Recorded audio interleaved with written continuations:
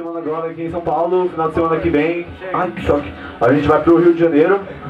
É... Isso, amanhã vai ter em Mogi.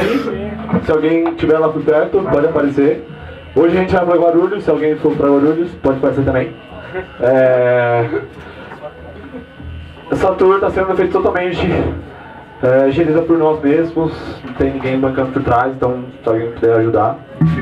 Então um abraço de ajuda, né gente?